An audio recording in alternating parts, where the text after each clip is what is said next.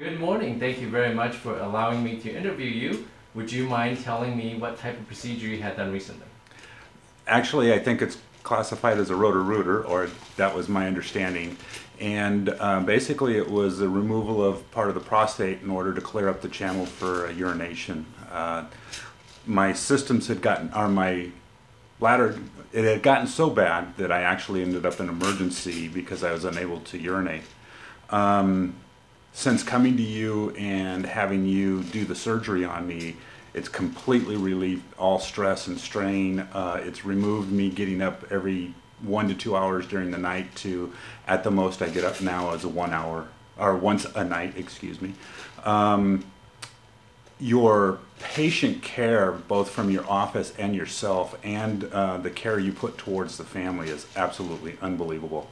Um, you are somebody I would recommend to other patients and actually uh, would be positive to be out there and influencing others. I've, i believe I've actually had a friend that's already come to you based on that same scenario as uh, just your patient care and stuff. So I'd like to thank you for the effort you and your office put forth. Well, thank you very much for that. I was I was asking more to, about your experience with the uh, with the uh, procedure.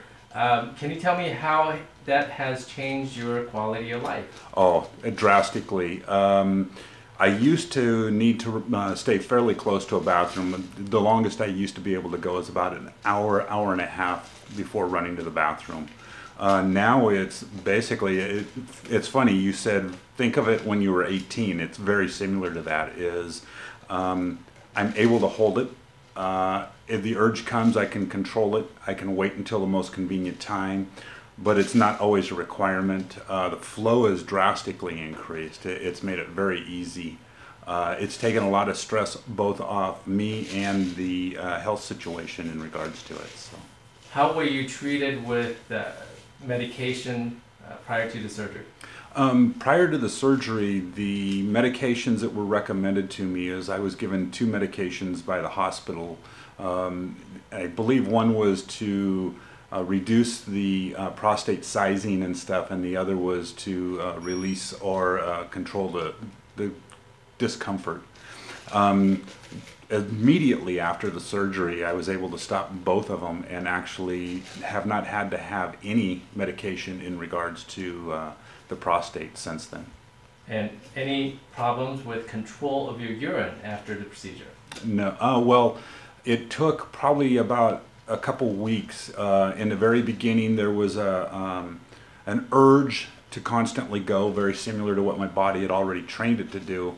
And then um, over time, that uh, has completely went away. Um, I no longer feel a continuous urge or a, uh, the need to. And also now it's just basically when I feel I have a full bladder, I'm able to go and take care of the situation. Well, that sounds wonderful. And uh, any trouble with erections? Uh, none. Uh, the only difference is, is um, with sexual intercourse, you no longer, I no longer have an outgoing flow. Uh, my understanding is, is based on the surgery. I still have the erection. I still have the same feeling and everything. I just no longer uh, ejaculate. Correct. So the erections are still there. The orgasm still exists. It's just that nothing comes out. That is correct. Okay. Some people would say that is a plus. uh, my wife would probably agree with that. Oh, very good. Well, thank you so much for uh, allowing me to interview you. Would you mind if I share this uh, video with those who may be interested in this procedure? No, not at all. Okay, thank you so much. Thank you.